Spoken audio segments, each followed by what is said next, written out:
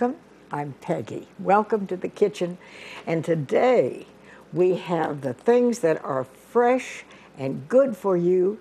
We also have some recipes that are different, but they're still easy and affordable. And I am so pleased to have Donna Bundrick Griffin. Donna and I are friends for many, many years, and she's here on behalf of the Walter P. Rawl and Sons Company. And you said it, you see our signs.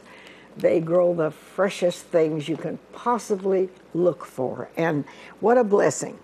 Thank you, Donna. Oh, Thank Peggy, you. it's always And a pleasure to one of my work with you. favorite things, kale. We're going to be featuring kale today because this is one of the most important foods that a person can eat. In fact, it's been called the queen of vegetables, and it has vitamin K, lots of vitamin K, and statistics prove that that has been shown to prevent cancer. Also loaded with vitamin A and vitamin C, even has calcium in it. So today we're going to share some good right. recipes uh, using kale, but I would like to uh, mention to your audience our namesake is Nature's Greens, and you can find this product in the produce section of your local grocery store. And if you don't see it, ask, Ask for it. because it's fresh. It is very fresh from our family to kale, yours. a lot of people say, oh, well, you know, I don't like the way it tastes. Well, you have all these different things you're going to show people. They'll be surprised. That's exactly right. We're going to start off with a kale spaghetti sauce. All right. And this spaghetti sauce has vegetables in it. So if your children say, oh, I don't want to eat vegetables, you put the spaghetti sauce, in, they won't know. They won't know they're eating not- vegetables. That's exactly right. Because actually we combine a, put this a over here series for of right now. ingredients and like Peggy said, nobody will know all the vegetables are in here. But what we've You done want me to stir this Yes. now? We have simply put in two tablespoons two tablespoons of the extra light olive oil and I'm using one pound of ground turkey and one pound of extra lean ground beef. Peggy, something else that I'd like to mention is that we have another line. This is called our versatile veggie line. And um, we are using the chopped celery and onions. One reason I like to use these products, not only are they fresh from our family to yours, but also they're already cut up, they're already yeah, it's time washed saving. But with- see, you can just pour some of that in a salad. Oh yeah. You know, even a kale salad. And the kale too is already triple washed and cut up. So all you have to do is put it in your recipes. This line includes the Southwest Pico, which is one of my favorites. I know, I know It has the love that. roasted corn and black beans as well as original Pico.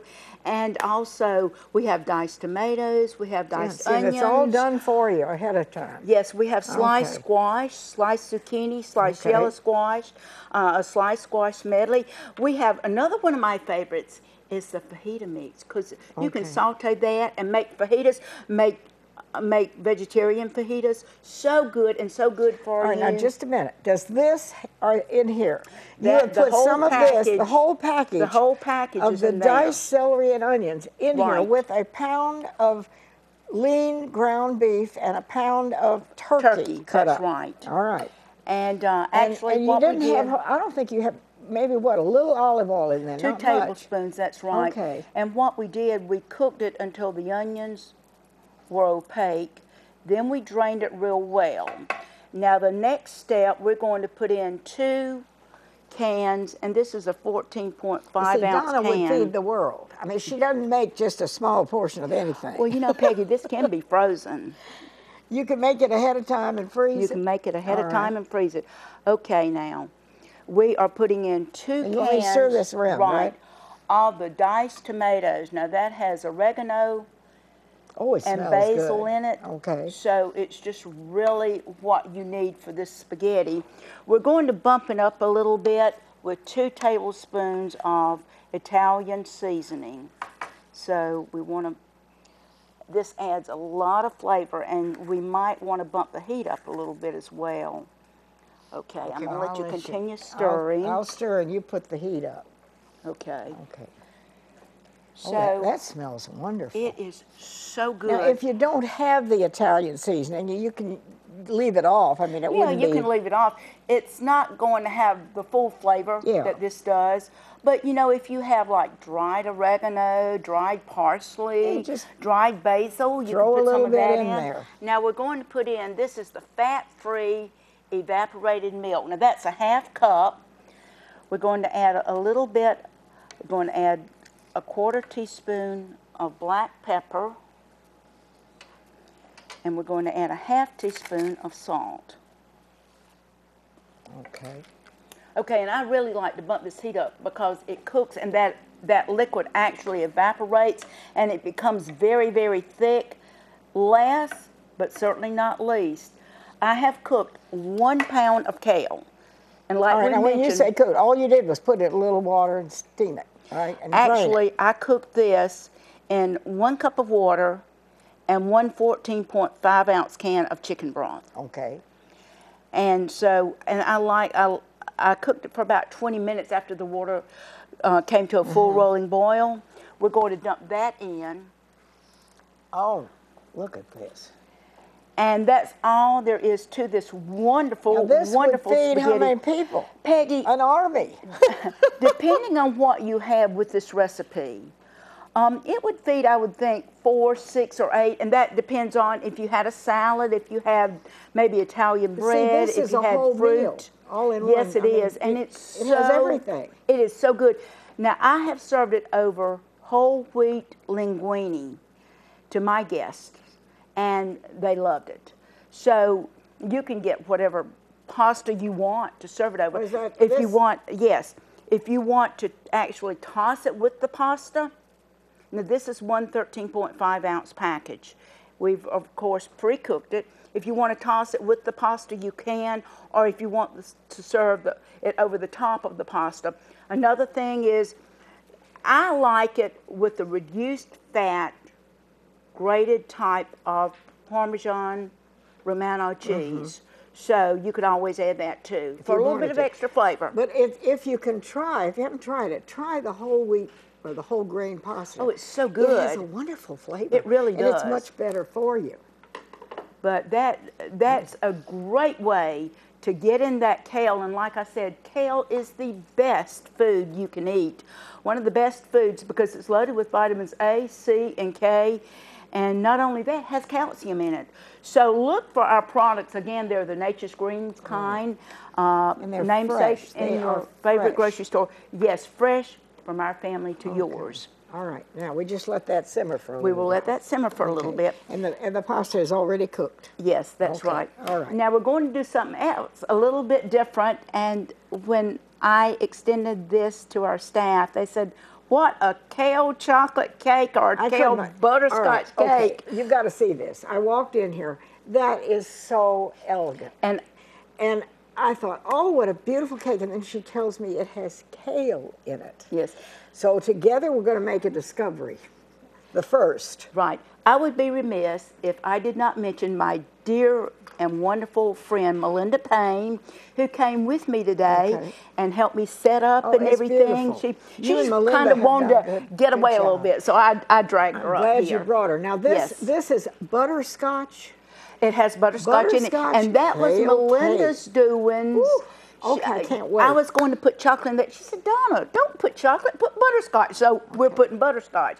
But this is another simple recipe using kale. And what we're doing, now this is three cups of kale to one cup water. All right. And I cooked it. We're going to put this in a blender container. And then we got to get all this good kale. We cannot get skip any of these leaves. All this goodness. And we're simply going to add a cup of fat-free milk. Ooh, I have to watch. She puts me to stirring, and then I get so interested I forget. And that's We better- smelling so we better good. turn this down And we a will blend bit. this.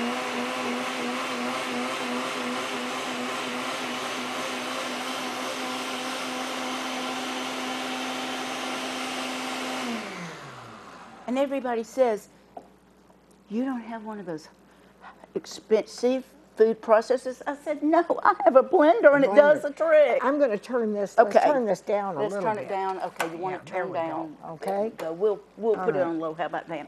The next step, Peggy, is we combine one and three quarters cup of flour. We're putting in a half cup of cocoa, three quarters cup of sugar. We're adding to that one teaspoon of baking. That's our baking powder. Quarter teaspoon of baking soda. Baking powder and baking soda, right. Mhm. We're going to whisk these ingredients. We want to make sure that everything's evenly distributed. Now we'll move the dry ingredients over. The next step is we are using actually uh, a half cup of egg substitute for this Oh, recipe. Egg substitute, all right. Mhm. We're going to use a third cup of oil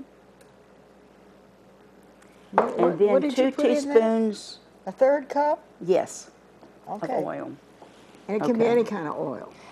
Well, personally, I like the extra light tasting right. olive oil because right. it's not as Extra heavy. light olive oil. I, I mm-hmm. like people to you know what use, you're using. You can use canola if you want to as well. Okay, we will add this to, now this is the kale that we pulverized in the blender. We want to get all that goodness out. This and you is the best. that before you put it yes, in the blender. Yes, I cooked it one part kale to three, I mean three parts kale, excuse me, to one part water.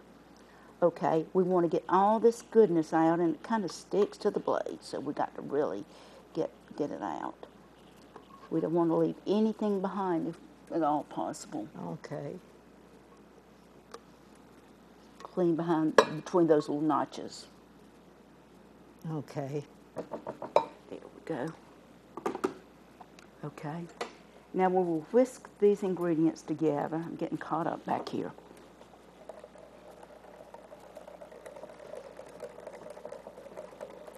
Then we will combine the moist ingredients with the dry ingredients.